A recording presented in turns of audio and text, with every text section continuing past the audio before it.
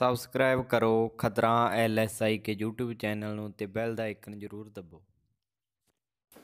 ਹਾਂਜੀ, ਸਵਾਗਤ ਹੈ ਜੀ ਤੁਹਾਡਾ ਖਤਰਾ ਐਲਐਸਆਈ ਕੇ YouTube ਚੈਨਲ ਤੇ। ਅੱਜ ਦੀ ਮੌਸਮ ਵਾਲੀ ਵੀਡੀਓ ਹੈ ਜੀ ਆਪਣੀ, ਜਿਹਦੇ ਵਿੱਚ ਕੀ ਆਪਾਂ ਦੱਸਾਂਗੇ ਕਿ ਮੌਸਮ ਜਿਹੜਾ 16 17 ਤੇ 18 ਅਪ੍ਰੈਲ ਦਾ ਕਹੇ ਜਾ ਰਹੇਗਾ ਤੇ ਮੌਸਮ ਸਾਫ਼ ਕਦੋਂ ਹੋਵੇਗਾ।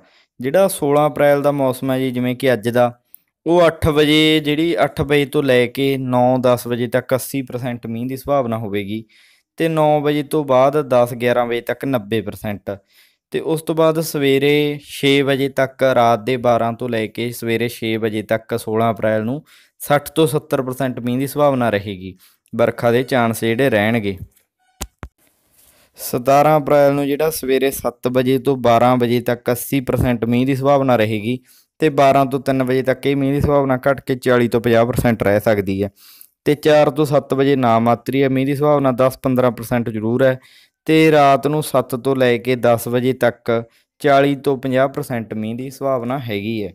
ਤੇ ਜਿਹੜਾ 17 ਅਪ੍ਰੈਲ ਨੂੰ ਰਾਤ ਨੂੰ 10 ਵਜੇ ਤੋਂ ਬਾਅਦ ਮੌਸਮ ਆ, ਜਿਹੜਾ ਸਾਫ਼ ਹੋਣਾ ਸ਼ੁਰੂ ਹੋ ਜਾਊਗਾ ਤੇ ਉਸ ਤੋਂ ਬਾਅਦ ਮੀਂਹ ਦੀ ਕੋਈ ਸੰਭਾਵਨਾ ਨਹੀਂ। 18 ਅਪ੍ਰੈਲ ਨੂੰ ਜਿਹੜਾ ਮੌਸਮ ਉਹ ਬਿਲਕੁਲ ਸਾਫ਼ ਰਹੇਗਾ, ਕਲੀਅਰ ਰਹੇਗਾ, ਜਿਹੜਾ ਕਿਸਾਨਾਂ ਲਈ ਸੁੱਖ ਦਾ ਸਾਹ ਲੈ ਕੇ ਆਵੇਗਾ।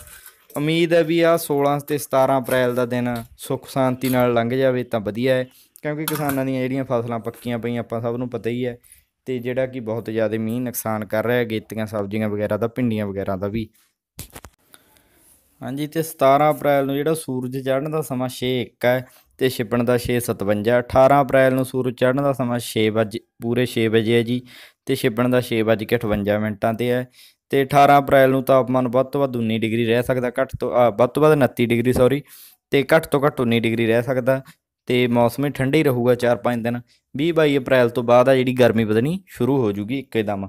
ਤਾਂ ਜੇ ਅਸੀਂ ਆਪਣੀ ਮੌਸਮ ਵਾਲੀ ਵੀਡੀਓ ਜੇਕਰ ਤੁਹਾਨੂੰ ਚੰਗੀ ਲੱਗੀ ਨੂੰ ਲਾਈਕ ਜ਼ਰੂਰ ਕਰੋ ਤੇ ਕਮੈਂਟ ਵੀ ਕਰ ਸਕਦੇ ਹੋ ਜੇ ਤੁਹਾਡਾ ਕੋਈ ਸੁਝਾਅ ਹੈ। ਜੇ ਤੁਸੀਂ ਚੈਨਲ ਤੇ ਨਵੇਂ ਹੋ ਤਾਂ ਲਾਲ ਰੰਗ ਜਿਹੜਾ ਸਬਸਕ੍ਰਾਈਬ ਬਟਨ ਹੈਗਾ ਇਹਨੂੰ ਦੱਬ ਕੇ ਇਹਦੇ ਨਾਲ ਬੈਲ ਆਈਕਨ ਉਹਨੂੰ ਦੱਬ ਜਿਓ ਤੇ ਹੋਰ ਵੀ ਬਹੁਤ ਸਾਰੀਆਂ ਵੀਡੀਓ ਨੇ, ਇਹ 350 ਨੰਬਰ 51 ਨੰਬਰ ਵੀਡੀਓ ਹੈ ਸਾਡੇ ਚੈਨਲ ਦੀ।